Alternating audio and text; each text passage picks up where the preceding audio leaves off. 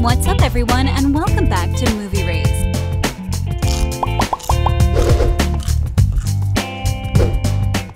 From different hair colors to some major age differences, here's what the cast of Narnia should have looked like if the creators stayed loyal to C.S. Lewis novel descriptions. Lucy Pevensie, Georgie Henley. For those of you who aren't familiar, Netflix has acquired the rights to the entire Narnia franchise. Rumor has it that Netflix has already started the production of a reboot of the series, meaning that the franchise will not continue right after Disney stopped. Disney intended to adapt the silver chair, but the continuation didn't happen simply because the films were less and less profitable. Now Netflix intends to start with The Magician's Nephew, the prequel to the Chronicles of Narnia. Since this is a reboot, Netflix will need to hire a new group of actors. Let's go through Lewis's description of the characters and check out some of the suitable actors that will hopefully do justice to the franchise. Lucy Pevensie was one of the most endearing characters in the books and the film adaptation. She is one of the four Pevensie siblings. She has never stopped believing in Narnia, and when you compare her personality in the film to the one in the novel, there is not much difference, but her physical appearance is not really what Lewis had in mind when he was writing the books. In the novel, Lewis writes, As for Lucy, she was always gay and golden haired, a fair haired lady with a very merry face. In the film adaptation, Lucy was portrayed by Georgie Henley. Henley's hair is not as golden as the writer described. In the first book, the writer makes several mentions that her hair was as golden as ever, and she was so beautiful that many princes desired to be their queen. Who do you think would fit this description for the Netflix reboot of the book series? Edmund Pevensie, Skander Keynes.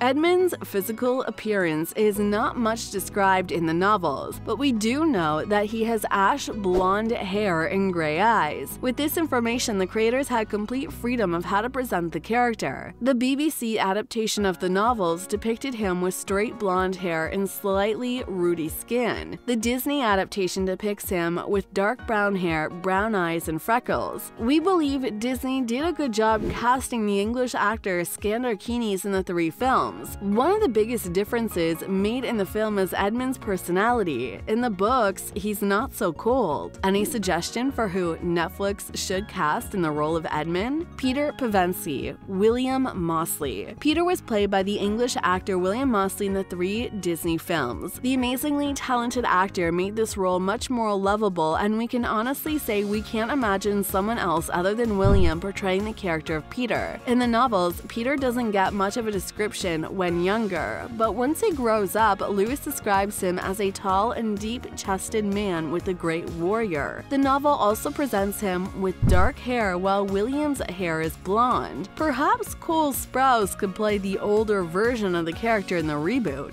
What do you think? Susan Pevensie, Anna Popplewell. In Disney's live-action films, Susan is played by actress Anna Popplewell. Sophie Winkleman plays the older version of the character by the end of the first film. Lewis describes the character as a tall and gracious woman with black hair that fell almost to her feet, and the kings of the country beyond the sea began to send ambassadors asking for her hand in marriage, and she was called Susan the Gentle. Honestly, Disney did a good job casting Anna for this role, at least according to us. Don't you agree? Mr. Tumnus James McAvoy. Tumnus is a faun, meaning that he had the legs of a goat, and according to the writer, his legs were covered with black hair. He had a tail and was a bit taller than Lucy. He was only a little taller than Lucy herself, and he carried over his head an umbrella, white with snow, Lewis describes. He then explains how Mr. Tumnus had a red woolen muffler around his neck and his skin was rather reddish too. He had a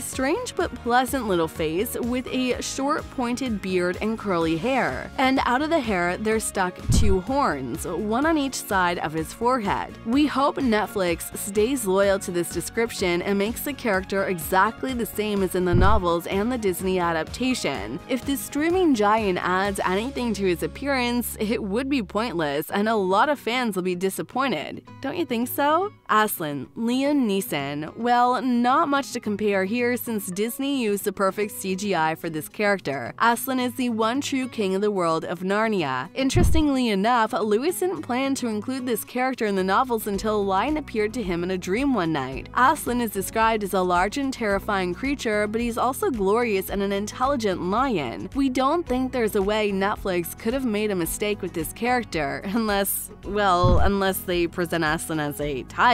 Before we continue, make sure you smash that like button if you haven't done it already. Prince Caspian, Ben Barnes. Lewis imagined Prince Caspian as golden haired in his youth. When he grew old, he had a long gray beard, but there's no specific description for Caspian other than the one of his golden hair. In fact, Lewis tried to give less descriptions of the characters because he wanted kids who read his novels to use their imagination more. Anyways, in The Voyage of the Dawn Treader, Lewis mentions a couple of times that Caspian was a golden haired boy. In the Disney adaptation, Ben Barnes plays a character and his hair is obviously not golden. This is, however, nothing compared to the huge age difference. In the Prince Caspian novel, Caspian is about 13. When Ben got cast in Narnia, he was 27. Casting 30 year old actors for teenager roles was an ongoing trend in Hollywood, which is thankfully fading away. And Netflix tends to cast teenagers for characters that are supposed to be played by younger actors. Do you have any suggestions for the role of Prince Caspian? Let us know. Trumpkin, Peter Dinklage. Lewis put a simple description into his character as according to his imagination. Trumpkin was a red dwarf. Peter Dinklage portrayed the red dwarf Trumpkin in the Disney adaptation. According to most fans, the biggest problem with Peter was that he wasn't as red as he was supposed to be. Trumpkin is also described as having an immense beard and whiskers of coarse red hair, something like a fox's, but Dinklage's hair is blonde in the film. The actor's eyes are green, while Lewis imagines the character with twinkling black eyes. Thankfully, Disney included the beak-like nose, though. Eustace Scrubb Will Poulter Eustace Clarence Scrubb was first introduced in The Voyage of the Dawn Treader. He's a cousin of the Pevensie siblings, and there isn't much of a description of him in the novels. Lewis introduces the character with this line There was a boy called Eustace Clarence Scrubb, and he almost deserved it. So, who do you think would be the best fit for Eustace in the reboot? The White Witch.